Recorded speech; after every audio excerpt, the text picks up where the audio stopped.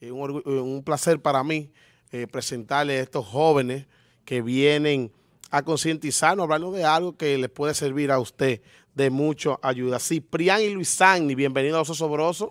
Gracias. Gracias por la invitación, un placer estar aquí esta tarde. Ustedes vienen de un proyecto, explíquenle eh, a los jóvenes, eh, ustedes ganaron un concurso para que usted vea que nosotros, la juventud, pues yo soy un niño también, claro. nosotros juventud estamos emprendiendo, aunque usted no vea la cosa, pero aquí hay mucha juventud que está haciéndolo bien, que porque usted da más lo malo que la gente resalta. Adelante. Sí, buenas. Eh, así es, nosotros somos un grupo de jóvenes de la red Alerta Joven de aquí de la provincia de Duarte. Lo que buscamos es eh, ser gestionado por organizaciones de las cuales nos ayudan a nosotros para nosotros poder implementar proyectos que involucren lo que es la juventud duartiana. Eh, nuestro proyecto, estábamos en una competencia en el mes de diciembre, entonces allí habían diferentes jóvenes o diferentes grupos de diferentes provincias donde había que presentar diferentes proyectos o propuestas, en pocas palabras, y allí se iban a elegir las mejores propuestas, ocupando nosotros el segundo lugar en la provincia de hey, Muy bien, muy bien, un aplauso. Eh, proyecto Alerta Joven, segundo lugar en todas las provincias. Eso está muy bien. Y, sobre el, concurso, hablen un poquito de eso.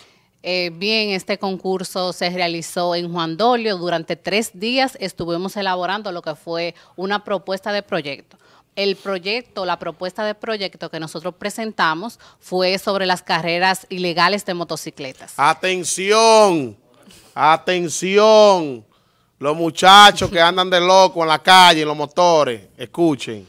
Así mismo es, este, nosotros eh, ese proyecto lo, titulamos Rodando Duro pero Seguros. Eh, se preguntarán a qué se debe ese nombre. Pues que nosotros sostuvimos que las carreras ilegales no son totalmente ilegales, sino que la ilegalidad viene de acuerdo a la forma en cómo se practica. ¿Por qué? Porque hay eh, corredores que son profesionales, eh, corren en pistas que están preparadas para realizarlo. También tienen todos los equipos, utensilios que le ofrecen eh, su seguridad. Entonces, básicamente nosotros queremos hacerle un llamado a todos los jóvenes a que se preparen, aquellas personas que quizás sienten pasión por las carreras, que se preparen y que la forma en que se realizan, que paran el tránsito, eh, eh, la vida de muchas, de muchas personas se ve afectada, también sus familiares de manera económica, eh, que piensen en esas consecuencias y en esos riesgos que tienen las carreras ilegales de motocicletas. Entonces, este proyecto los, lo vamos a estar realizando durante el mes de febrero. Eh, tenemos un cronograma ya preparado donde vamos a estar realizando una serie de actividades, encuentro con actores claves de la provincia, también de las Guaranas, pues nosotros como Red Alerta Joven de la provincia de Duarte tenemos lo que es un plan de prevención de crimen y violencia.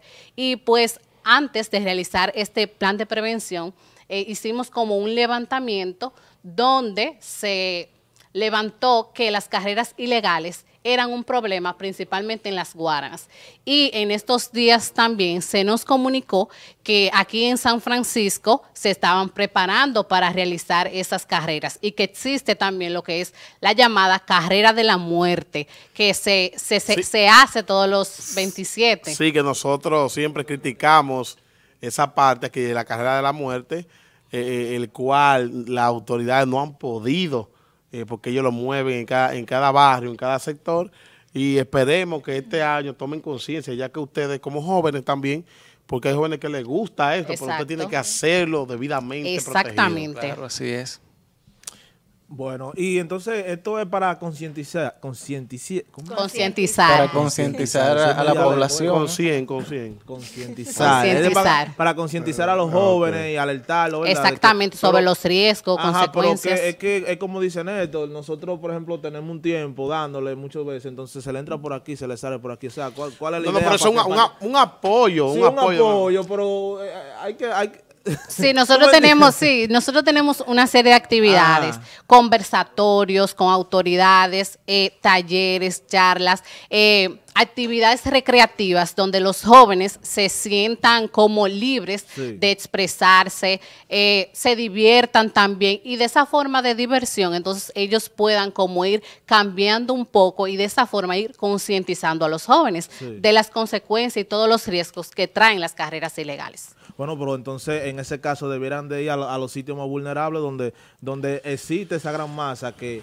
que, que, jode con eso, con carrera. Con, o sea, ahí a, a, a, a, dónde que se consigue eso, en los teteos, donde están los tigres con sus motores que suenan durísimos, ahí te lo encuentras. También, también como ellos están emprendiendo en esto eh, y ganaron ese concurso, las autoridades deben darle un apoyo a ellos, tanto la DGC, eh, también nuestro hermano Nefi Molina de, de, del Ministerio de la Juventud, que nos vamos a quedar con el teléfono para nosotros hacerle llegar esa propuesta y la Sí, nosotros nos hemos comunicado con muchas de las autoridades ya, porque nosotros como red tenemos eh, amplio tiempo ya trabajando aquí en la provincia. También, porque el también, perdón, también el Intran, nuestro hermano Brian Lee, que todas esas entidades pueden eh, aportar. Exacto, este y son actores claves que nosotros identificamos, ellos están dentro de nuestra propuesta. Ya nos hemos comunicado con algunos de ellos, también el sector privado creo que juega un papel importante para darle apoyo a nuestra red y también a este proyecto. Y, cuenten conmigo como figura para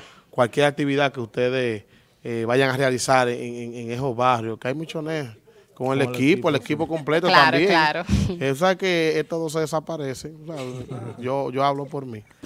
Porque la otra... Qué bolino. Mira, yo sí he escuchado anteriormente sobre alerta joven. Por ejemplo, si alguien que no está viendo en la televisión, algún joven o persona adulta, por X y razón le interesa participar o integrarse del grupo, ¿de qué manera lo podría hacer y cuáles son los requisitos para integrarse? Eh, sí, nosotros tenemos una cuenta de Instagram que se llama Alerta SFM. Ahí pueden seguirnos y nos pueden escribir directamente eh, al Instagram. Ahí entonces le estarán dando asistencia el encargado de comunicaciones y de esa forma le daremos eh, las pautas que deben seguir para entonces integrarse a nuestra red. Que cabe destacar que tenemos muchos jóvenes que ya pertenecen a ella y los cuales son capacitados e involucrados en todas las actividades que nosotros realizamos.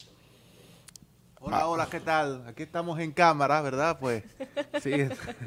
Miren, muchachos, ustedes mencionaban ahorita sobre que ya están alertando, alertados sobre la carrera de la muerte, que es el mal llamado evento que se realiza cada año aquí por un grupo de muchachos intrépidos y traviesos de aquí de San Francisco. Entonces, nosotros desde hace un buen tiempo estamos llamando a los jóvenes para que hagan las cosas bien con esa carrera, o sea, para que después no vengan a quejarse con que las autoridades le fueron allá y le tiraron bombas y de todo. Entonces, ustedes como organización y, y, con ese proyecto, eh, ¿piensan impactar o, quieren buscar un objetivo en, específico para, para esa carrera de la muerte? No eliminarla, porque sería difícil, ustedes y ustedes ya como jóvenes solamente, como, como grupo, pero hacer algo que pueda impactar y transformar esa carrera en el futuro. Sí, así es. Nosotros como jóvenes, como institución o organización, tenemos un objetivo general y específico y entre el objetivo general está impactar a 55 jóvenes con 150 espectadores para que ellos sean el portavoz de cada joven que realiza esta práctica ilegal que contribuye a que estos eh, jóvenes eh, tengan consecuencias negativas tanto para ellos como para su familia. Entonces, allá en los objetivos específicos queremos concientizar a esos 55 jóvenes a través de charlas, conferencias y un sinnúmero de actividades que contribuyan de manera positiva a nivel de nuestra sociedad y por ende la provincia de Duarte. muy bien, muy bien. Alerta joven ahí, tirando para adelante. Eh, eh, los números eh, y redes sociales donde se puedan comunicar con ustedes. Claro, en las redes sociales estamos en Instagram y en Facebook como Alerta SFM y el número al que se pueden comunicar es 809-790-8237. Se pueden comunicar con esta servidora, Luis Agni Cordero, que actualmente funjo como especialista de redes de la Red Alerta Joven de la provincia de Duarte. Ok, muchas gracias, muchas gracias. Ahí están los muchachos que quieran incursionar.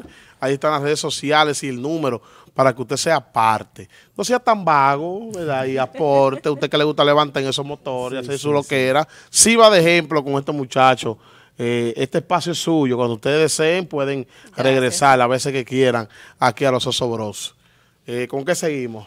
Bueno, eh. Señores, eh, di- Villalona. Villalona. Ah, ah, sí, sí, sí. Está aquí Villalona. No, no, que Villalona. Tiene que hablarme de Ibaní, porque Villalona yo pienso que Villalona. Villalona Es que está son aquí. familias muy lejanas. No, no, son familias muy lejanas porque aquí es muy bonito y este es muy feo.